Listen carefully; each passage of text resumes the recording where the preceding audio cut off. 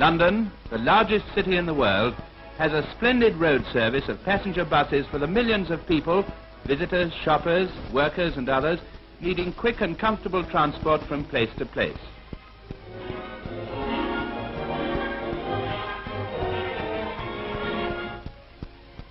Not only do the buses bring people into London, they also carry passengers out through less crowded streets to the surrounding countryside. On return journeys, they bring passengers back. There is a regular service to or from the town. Here in the near countryside, two African students studying in London have been enjoying a walk in the fields and now have to get back to their studies.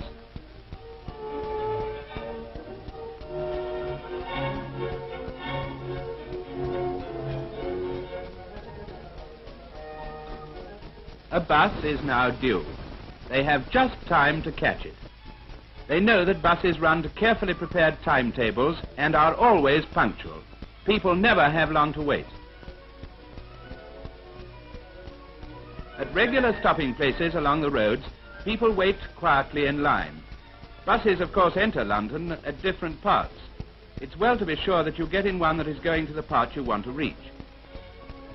The people enter the bus in an orderly manner, no crowding or pushing out of turn, and the conductor controls everything in a cheerful way.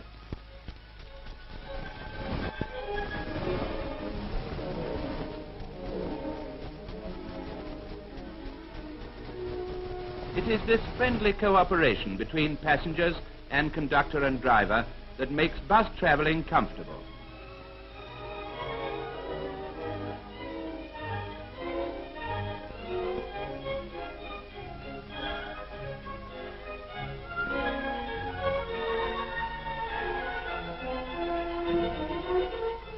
Collecting fares and giving tickets is very important business. And when passengers help the conductor by having their money ready, his task is made easier.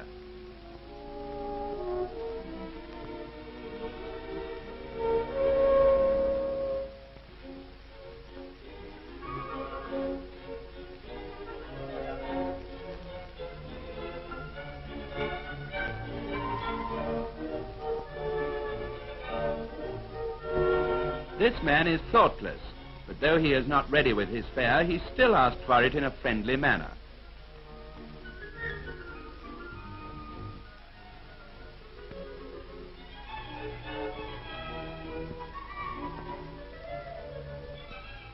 The driver keeps a steady speed.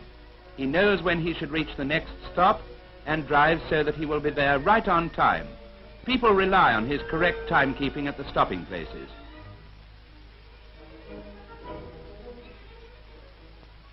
Travelling by bus is one of the best and cheapest ways of seeing the country.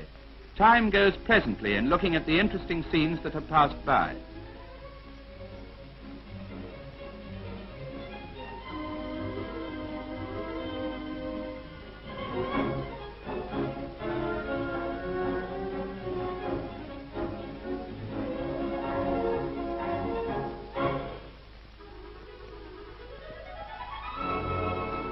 Another stop.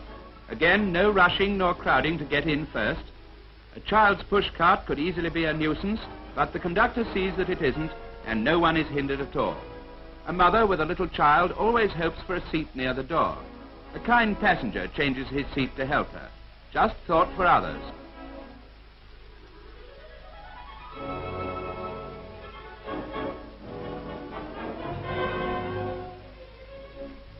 Wherever there are little children, people are kindlier.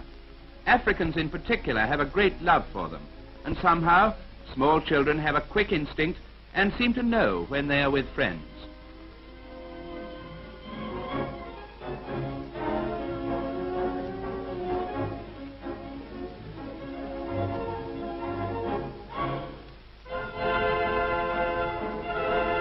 The roads begin to look busier.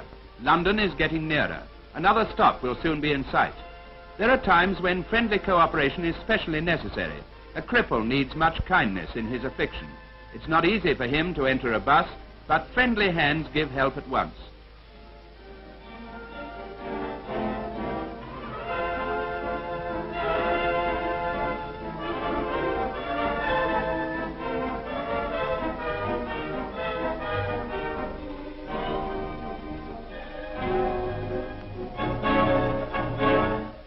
Day in London there are 7 million passengers carried by 5,000 buses.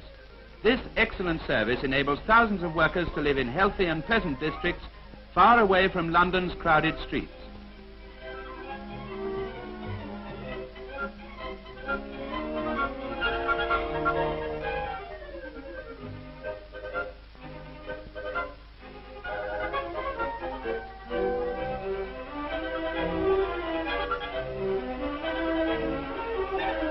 There is one very important matter that the driver has always to be ready for. Children crossing a road. There are special crossing places marked on the roads for people to use. And it's the custom for children leaving or going to a school to form in a procession to cross together. The driver sees this is going to take place and stops his bus. It's a rule that's made for safety and he never breaks it.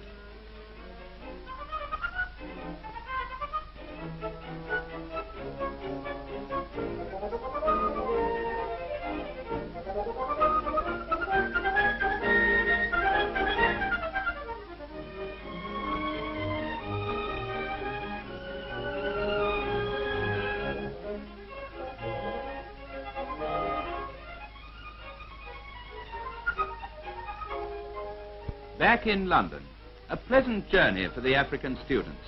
Four long miles for fivepence, and back home right on time, just like any other journey in a London transport bus.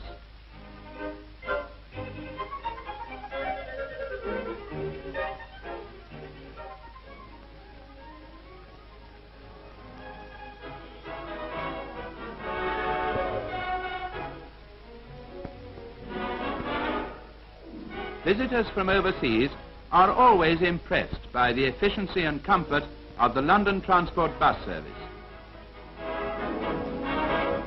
Always in the thousands of London buses, the same good service and civility of the staff is met by willing, orderly and friendly cooperation by the travelling public.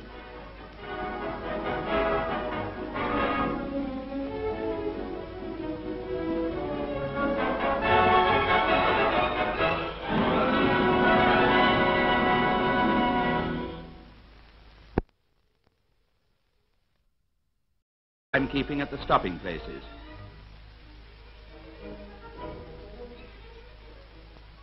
Travelling by bus is one of the best and cheapest ways of seeing the country. Time goes pleasantly in looking at the interesting scenes that have passed by.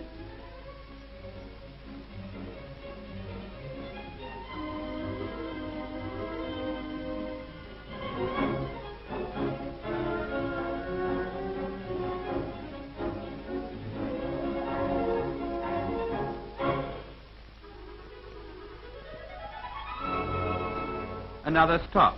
Again, no rushing nor crowding to get in first. A child's push cart could easily be a nuisance, but the conductor sees that it isn't, and no one is hindered at all. A mother with a little child always hopes for a seat near the door. A kind passenger changes his seat to help her. Just thought for others.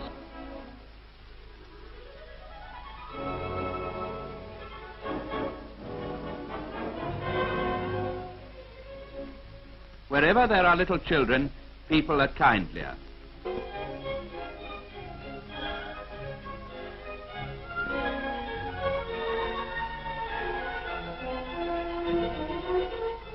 Collecting fares and giving tickets is very important business. And when passengers help the conductor by having their money ready, his task is made easier.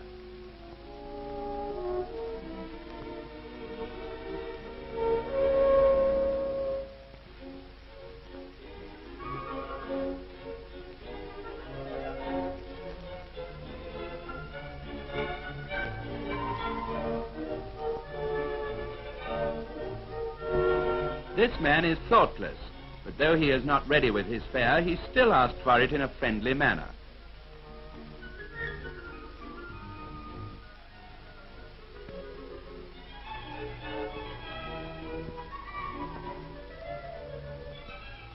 The driver keeps a steady speed. He knows when he should reach the next stop and drives so that he will be there right on time. People rely on his correct time. Africans in particular have a great love for them and somehow small children have a quick instinct and seem to know when they are with friends.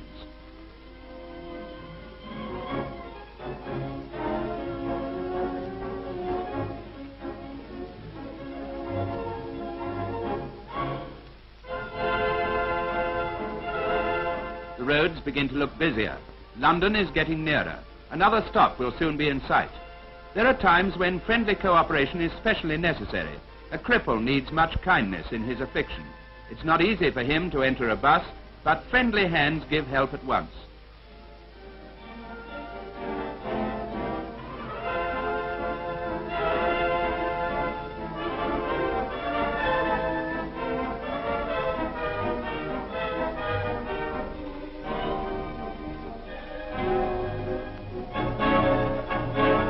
Every day in London there are 7 million passengers carried by 5,000 buses.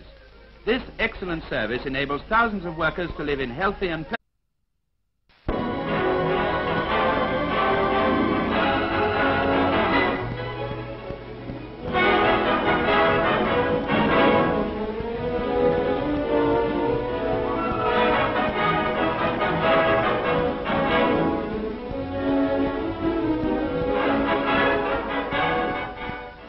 London, the largest city in the world, has a splendid road service of passenger buses for the millions of people, visitors, shoppers, workers and others, needing quick and comfortable transport from place to place.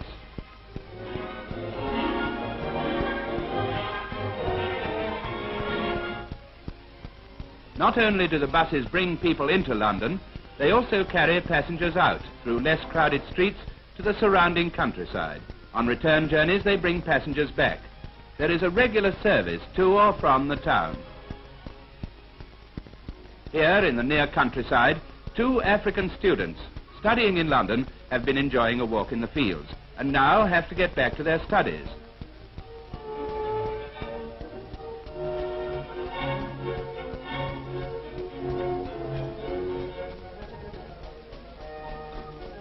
A bus is now due. They have just time to catch it. They know that buses run to carefully prepared timetables and are always punctual. People never have long to wait. At regular stopping places along the roads, people wait quietly in line. Buses, of course, enter London at different parts. It's well to be sure that you get in one that is going to the part you want to reach. The people enter the bus in an orderly manner, no crowding or pushing out of turn, and the conductor controls everything in a cheerful way.